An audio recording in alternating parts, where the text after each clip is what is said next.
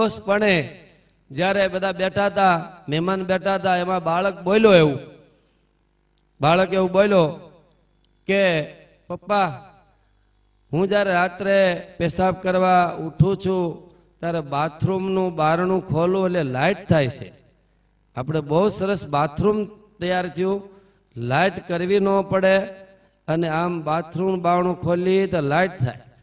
એને બાપા વિચારમાં પડ્યા કે આપણે આ ગામડામાં આવું બાથરૂમ જ નથી, કે આપણે આમ એનું બાવણું ખેંચીએ ને ઓટોમેટિક લાઇટ ચાલુ થાય. એની માં બેઠા હતા, એ પામી ગયા કે આ મારો રોયો છે ને, એ ફ્રીજનું બાવણું ખોલીને પેશાબ કરે છે. એનું ખોલે છે ફ્રીજનું. એ ખોલે એટલે લાઇટ થાય લાઇટ થાય એટલે પેશાબ કરી લે. મહેમાન કે આજે અમને લાગતું હતું, છાશ થોડી ખારીને ગંધાતી હતી એટલે એવું લાગ્યું ખરું હો. પણ આ તો તમારે ઘરે ખુલ્લી થઈ એટલે કે પણ આવું હોશિયાર છોકરાને બે ધબ્બા માર્યા. કે મુવા તું બાથરૂમમાં નથી પેશાબ કરતો, ફ્રીજમાં કર. એ બાથરૂમ નથી, ફ્રીજ છે. જો, છે ને? આ કુસંસ્કાર કહેવાય, એ સંસ્કારો સંતો શીખવાડશે. કે પેશાબ કેમ કરાય, ક્યાં કરાય? ભગવાન સ્વામિનારાયણ શિક્ષાપત્રીમાં લખે કે કોઈ ઘર હોય, આંગણ હોય વૃક્ષની છાયા હોય ને મળમૂત્ર કરવું નહીં થૂકવું પણ નહીં. આ સંપ્રદાયમાંથી આ બધા સંસ્કારો આપણને જોવા, જાણવા, શીખવા અને માણવા મળશે. માટે બાળકોની અંદર પણ આવા સારા સંસ્કારો આવે. બીજું, તમે બધા સંપથી રહ્યો, સ્ત્રી, પુરુષો એકાંતમાં બેઠા હોય, ઘરની અંદર તમે રહેતા હોય તો પવિત્ર તમારું ઘરનું સંપનું વાતાવરણનું સર્જાય એ પણ આ ગ્રંથમાંથી મળશે. ઝઘડાઓ બધા થતા છે, સાસુઓના ઝઘડા છે પતિ પત્નીના ઝઘડા છે, એકાબીજાને નહીં ભળતું હોય, તો આ ગ્રંથના માધ્યમથી સંપ અને એકતાનું વાતાવરણ સર્જાશે. આવી કથા ચાલતી હતી, એટલે વક્તાએ કીધું કે ભાઈ, જેને સ્વર્ગમાં જાવ હોય, આંગળી ઊંચી કરો. એટલે ભાઈ, કથામાં બેઠા હોય અને સાત્વિક શ્રોતા હોય, બધા ઈચ્છે જ ને ભાઈ, આપણે સ્વર્ગમાં જવું છે. બધા આંગળી ઊંચી કરી. તો એક વ્યક્તિ હતા ને પાછળ જોયું, બેનોની સભા સામું પછી એમના ઘરના પુત્ર બધું બેઠા હતા. હા, એમણે બે આંગળી ઊંચી કરેલી, એટલે આણે ન કરી. એટલે વક્તાએ પૂછ્યું કે તમે કેમ આંગળી ઊંચી ન કરી? તમારે સ્વર્ગમાં નથી જવું? તો કે, મેં જોઈ લીધું કે મારા પુત્ર વધુ અને મારા ઘરના બે સ્વર્ગમાં જાય, તો મારે તો અહીંયા સ્વર્ગ છે, કે મારે ત્યાં જવાની જરૂર નથી. વિચાર કરો કેટલો કુસમ હશે. એકાબીજાને ભળતું નહીં હોય, તો આ ગ્રંથ દ્વારા એકતા થશે. શું થશે?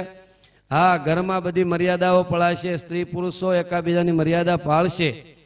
પત્ની છે પતિને પતિવ્રતા ભાવથી પૂજશે, આ ગ્રંથથી થશે. બધા બધા બેસ્યો, આપણે બધા કાંઈક ને કાંઈક દર્દી છે, આમાંથી આપણે બધાને દવા મળશે. આપણે કોઈ દર્દ વિનાના નથી. આપણી માથે જન્મ મરણનો પણ મોટો રોગ છે. આ કથાથી જન્મ મરણ મળશે કુસંભ છે તો એની પણ દવા છે, એકતા તૂટી છે તો પણ એકતા થશે. માટે બધા સરસ રીતે બેસીને કથા વાર્તા સાંભળશો. તમારે અમુક સ્વભાવ, પ્રકૃતિ, વાસના, વ્યસન નહીં મૂકવા હોય. છતાં પણ જ્યારે સાંભળશો કથા વાર્તા સારી રીતે બેસશો, ત્યારે બધું છૂટી જશે. મર્યા પછી મોક્ષ નહીં, જીવતા જ તમને એમ થશે કે અમારું કલ્યાણ થઈ ગયું છે. ક્યારે કે તમારા જીવનનું પરિવર્તન થાય ત્યારે. આ કથા એવી છે, માટે બધા જ પ્રેમથી સાંભળજો. આજ પ્રથમ દિવસ છે. તમે એટલા ઉત્સાહથી પધાર્યા છો. તો પ્રેમથી બીજા પણ ભક્તોને સાથે લેતા આવજો. આ કથા બહુ જ મોટો દાખલો કરી આ યજમાન રતિબાપા ગામ સમસ્ત ભેગા થઈ અને સરસ મજાનું સુંદર આયોજન કર્યું છે. ખર્ચો એ આપે ગામનું પણ નામ રાખ્યું છે. બીજા ત્રીજા બધા લોકો આવે. એને માટેની સારી વ્યવસ્થા કરી છે. તો માટે એવા યજમાનને આપણે તાળીઓથી વધાવીએ, એમની શ્રદ્ધાને વધાવીએ કે ધન્યવાદ છે આવા કળિયુગની અંદર આવા કથા સંભળાવી અને ભોજન કરાવવું એ બહુ મોટી સાર્થકતા છે. કથા સાંભળનાર માટે તો બહુ મોટું લખ્યું એને જમાડનારને બહુ મોટું પુણ્ય થાય. કથા સાંભળનારની વ્યવસ્થા કરનારને પણ બહુ મોટું પુણ્ય થાય. કથા સાંભળનારને કોઈ શરબત પાય કોઈ પાણીની વ્યવસ્થા કરે, એ બધાય મોટા ભાગ્યશાળી કહેવાય. કારણ કે કથાના શ્રોતા છે, એ બહુ મહાન છે. આજે જગતની અંદર કથા સાંભળવા બેસનાર વ્યક્તિ ક્યાં મળે છે? મહાન છે. માટે એવા તમામ શ્રોતાઓને તમને એક વિનંતી છે, અનુરોધ કહો તો અનુરોધ અને આજ્ઞા કહો તો આજ્ઞા છે, તમે એટલા જ ન આવતા, કુટુંબ સાથે આવજો, હજી જુવાન વ્યક્તિઓને લાવજો, હમણાં રજા છે. બાળકો પણ સમજી શકે એવા લાવજો. દીકરીઓ આવે, યુવાનો આવે, બહેનોની સભા પણ એવી વિશાળ થવી જોઈએ. ગામો ગામ તો બહેનોની સભા તમારા કરતાં ત્રણ ગણી હોય. પણ આ ગામમાં ગોપ, ગોપાનું વધારે રાજ લાગે, ગોપીઓ ઓછા લાગે છે. સમજે કે ગોપ મંડળ મોટું છે, ગોપી મંડળ નાનું દેખાય છે. માટે એને પણ તમારે ઘરના બધા સભ્યો સાથે આવી અને સરસ મજાની કથા સાંભળવી, ભગવાનનું સ્મરણ કરવું. મર્યા પછી પણ મુક્તિ નથી થતી, ત્યારે આ સત્સંગી જીવન શ્રીમદ ભાગવત એની કથાઓ સાંભળવી પડે છે રામાયણ વગેરે. માટે જીવતા જ આપણે સરસ રીતે કથા સાંભળી લઈએ. તમારા શ્રોતાનું વાતાવરણ મને જોતા એવું લાગ્યું કે શાંતિથી સાંભળો એવા છો. શાંત વાતાવરણ છે. અડકે પડકેના બીજા અવાજ નથી. આ તો જંગલની અંદર સરસ મંગલ વાતાવરણ હોય એવું આ સરસ મજાનું આયોજન છે. સારું મંડપ વ્યવસ્થા માટે બધા જ પ્રેમથી કથા સાંભળજો. આ સત્સંગી જીવનની કથા શરૂથી પ્રારંભથી પૂર્ણાવતિ સુધી આમાં કોઈ વિઘ્ન ન થાય. શ્રોતા, વક્તા બધા નિર્વિઘ્નપણે સરસ કથા વાર્તા કરી. ભગવાન સ્વામિનારાયણ એમને ઓળખે, ભગવાન સ્વામિનારાયણની ઉપાસના, એનો મંત્ર જપ, ભક્તિ, એ શું છે એ જાણવા મળશે. અનેક અવતારોની કથા આપણે જાણતા હોઈ પણ બસો, સવા બસો વર્ષ પહેલા પ્રગટ થયેલા પૂર્ણ પુરુષોત્તમ નારાયણ એમની કથા આપણે ઓછી સાંભળવા મળી હોય એ પણ સાંભળજો. રામાયણ, ભાગવત વગેરે ગ્રંથો સાંભળ્યા હોય, એ ગ્રંથથી પણ કથા આ ગ્રંથની અંદર સમાયેલી છે. માટે પ્રેમથી તમામ શ્રોતાઓ આ ગ્રંથનો લાભ લઈ અને જીવનને ધન્ય બનાવજો.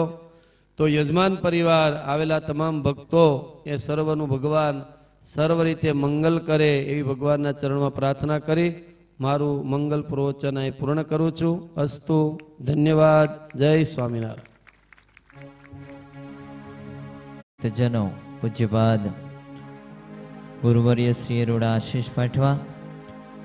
કારણ કે આ ગ્રંથ છે, અતિ મહાન ગ્રંથ છે. ગ્રંથનું નામ જ એ છે, સત્સંગી જીવન.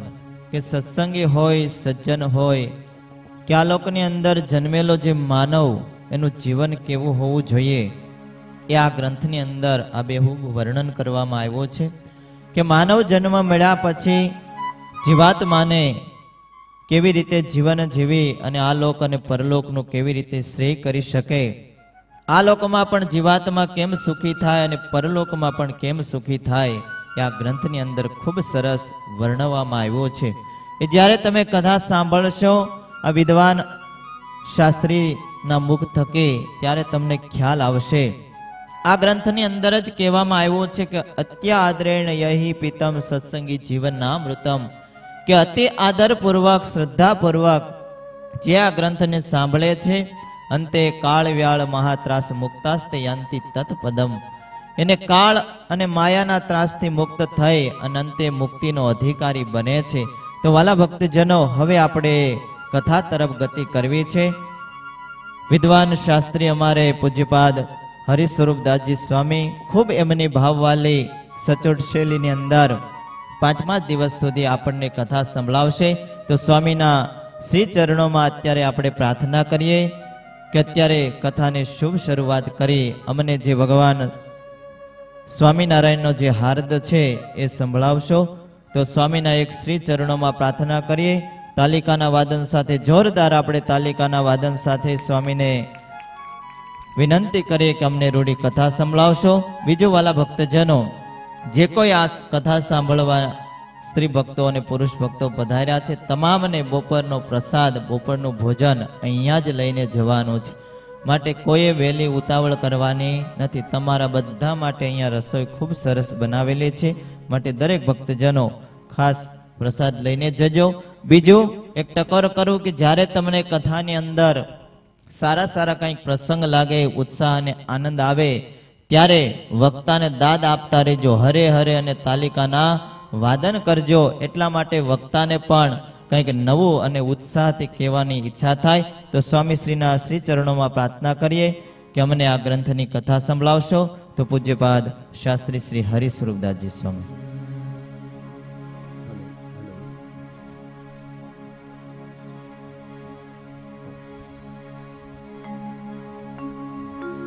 બોલો શ્રી સ્વામિનારાયણ ભગવાનની જય શ્રી હરિકૃષ્ણ મહારાજની જય શ્રી કૃષ્ણ કનૈયાલાલ કી જય. શ્રી રામચંદ્ર ભગવાન કી જય શ્રી વિઘ્ન વિનાયક દેવ શ્રી કષ્ટભંજન દેવની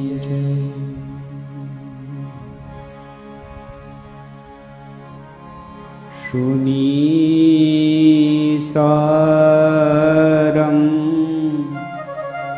सा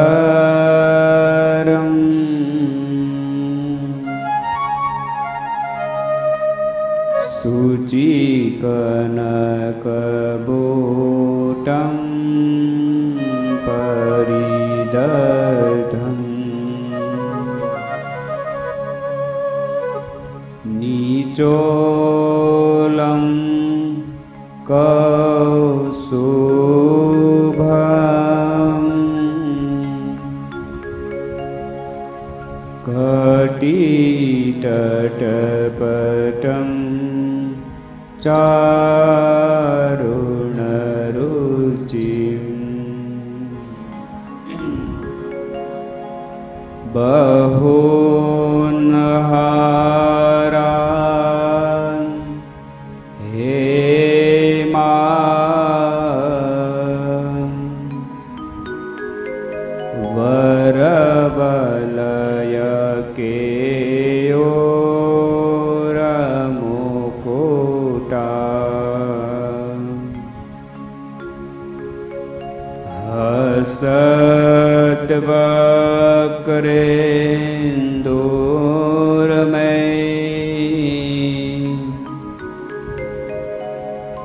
दृशी जयतु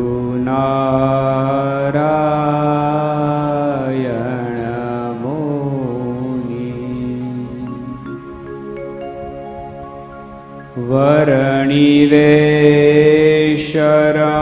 वरणिवेशरमणीय दर्शनम्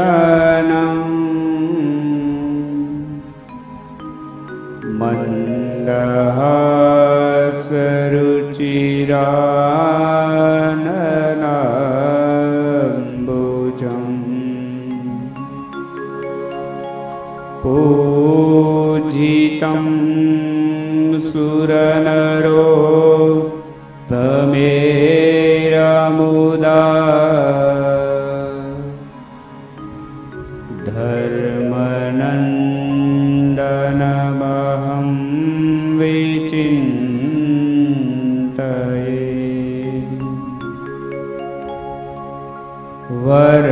इवे शरमाणि दर्षम्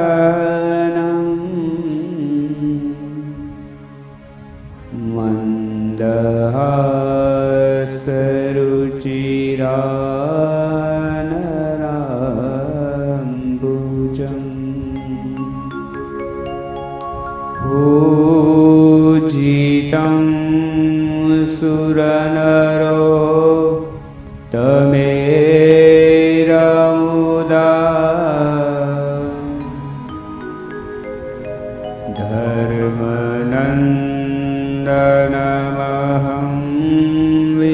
うん